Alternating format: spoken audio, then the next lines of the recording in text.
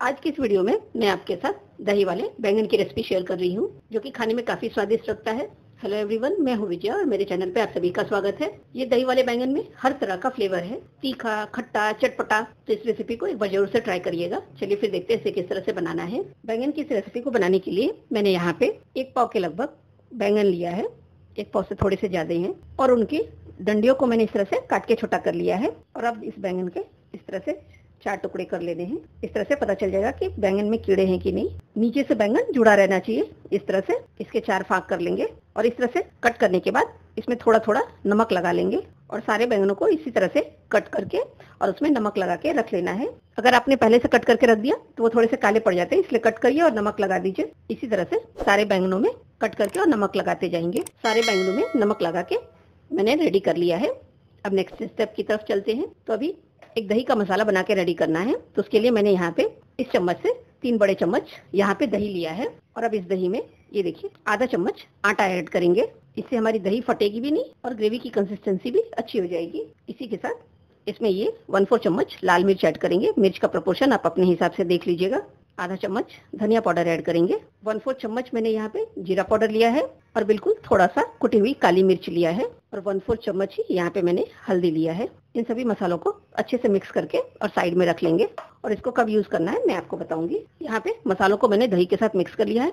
अब इसे साइड में रख देंगे और इसी के साथ मैंने यहाँ पे आधा चम्मच कांदा लहसुन मसाला लिया है। ये इजिली आपको किसी भी ग्रोसरी शॉप में मिल जाएगा। आजकल ये इजिली अवेलेबल है और इसको ज़रूर से डालिएगा। बहुत ही टेस्टी सब्ज़ी जो है, इसको डालने से बन के तैयार होती है। चलिए, फिर इस दही वाले बैंगन को बनाना शुरू करते हैं। इस रेसिपी के लिए हमें बैंगनों को फ्राई करना है। तो उसके लिए मैंने यहाँ पे दो बड़े चम्मच तेल लिया है और तेल की गर्म होने के बाद इसमें हम नमक लगे हुए बैंगनों को ऐड कर देंगे।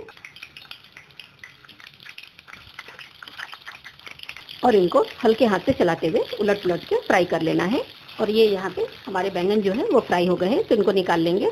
और इसमें जो एक्स्ट्रा ऑयल है, उसको भी निकाल लेंगे। और यहाँ पे मैंने सारे एक्स्ट्रा ऑयल को निकाल लिया है। सिर्फ़ एक छोटा चम्मच इसमें ऑयल को मैंने छोड़ दिया है। और अब इसमें सबसे पहले तड़का ऐड करेंगे। और तड़के के लिए मैंने यहाँ पे मेथी, राई, जीरा और पंचफोरन लिया है। सबका एक एक चुटकी लिया है और यहाँ पे हमारे मसाले जो है वो क्रैकल होने शुरू हो गए हैं। तो अब इसमें बारीक कटा हुआ अदरक ऐड कर देंगे और इसी के साथ ये बारीक कटा हुआ लहसन भी ऐड कर देंगे। पाँच से छह कली लहसन को मैंने यहाँ पे इस तरह से लंबाई में कट कर लिया है और अदरक मैंने यहाँ पे आधा इंच का टुकड़ा लिया है।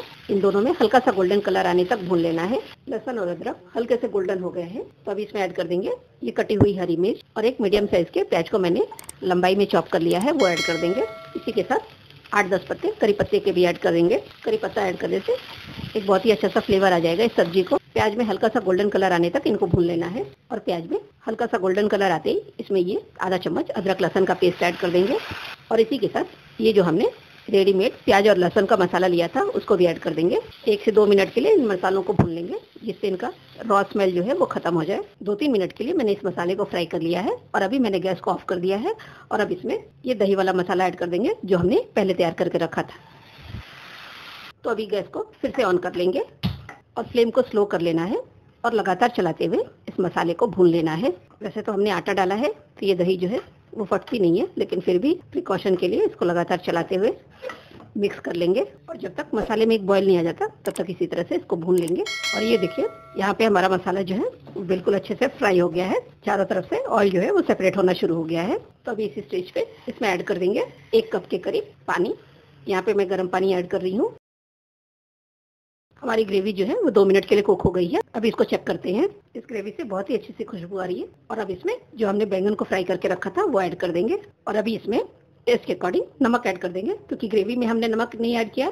सिर्फ़ हल्का सा नमक हमने बैंगनों को लगाया था। तो अभी टेस्ट को बैलेंस करते हुए इसमें नमक ऐड कर देंगे। इसी स्टेज पे यहाँ पे ये वन फोर चम्मच कसूरी मेथी और एक पिंच यहाँ पे मैंने गरम मसाला लिया है, उसको भी ऐड कर देंगे। कसूरी मेथी को मैंने हल्का सा गर्म करके क्रश करके रखा हुआ है।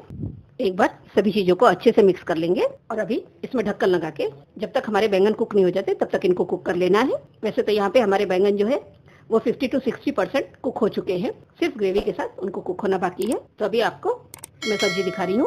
और ये देखिए, हमारे शानदार से दही बैंगन जो है, वो अब बन के रेडी हो गए हैं। तो अभी गैस को ऑफ़ कर देंगे। और ये देखिए, यहाँ पे बैंगन जो है, वो परफेक्टली कुक हो गए हैं। तो अभी इन्हें सर्विंग डिश में निकाल लेंगे। देखिए, देखने से ही कितना टेम्पटिंग लग रहा है खाने में और भी स्वादिष्ट लगता है। तो ये यहाँ पे हमारी डिलीशियस सी दही वाली बैंगन जो है अब सर्व करने के लिए रेडी है। आप इसे पूरी और पराठों के साथ एंजॉय करिए सिंपल रोटी के साथ एंजॉय करिए, दाल और चावल के साथ एंजॉय करिए। किसी के साथ ये काफ़ी अमेजिंग लगते हैं। तो इसी तरह की चटपटी और डिलीशियस रेसिपी देखने के लिए मेरे चैनल को सब्सक्राइब कर लीजिएगा, साथ में नोटिफिकेशन बेल को भी ऑन कर लीजिएगा, जिससे जैसे मैं कोई वीडियो अपलोड करूँ तो उसका नोटिफिकेशन आपको मिल जाएगा। Thanks for watching